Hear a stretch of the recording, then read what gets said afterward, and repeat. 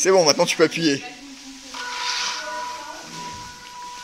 C'est moins, il est pas trop mauvais. Hein. C'est moins brutal que tout à l'heure, mais...